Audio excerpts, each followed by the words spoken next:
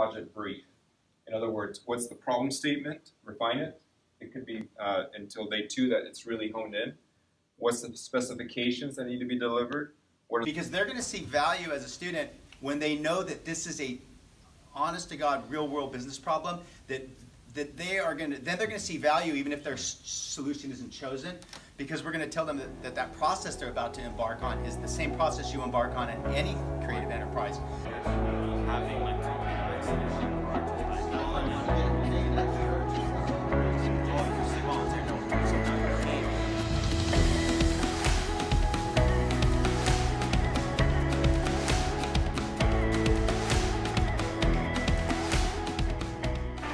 In this instance, um, our first pilot, Makermatic, we have a global business partner, um, so it's quite, quite um, amazing, the opportunity.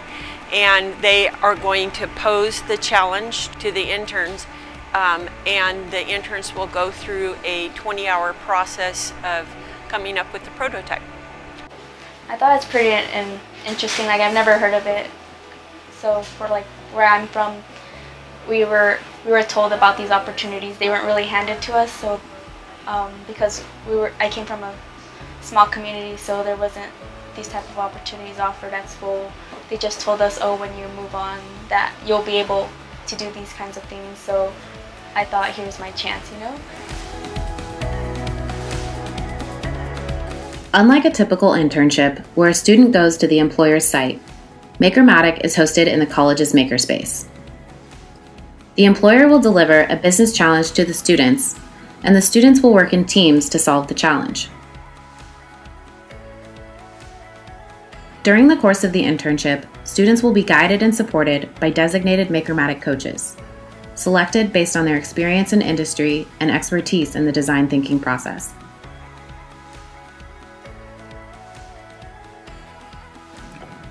The intern's journey begins with meeting the coaches and learning about the business challenge. Then they will empathize, ask questions, and brainstorm new ideas. Teams will land on their best concept and formulate a plan. And by the final day of Makermatic, they will pitch their solutions to the business leader.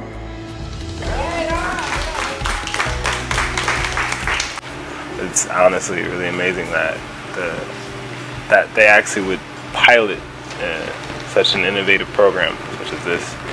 Um, what I want to gain from it, uh, entrepreneurial skills, leadership skills, um, discover new passions that I have.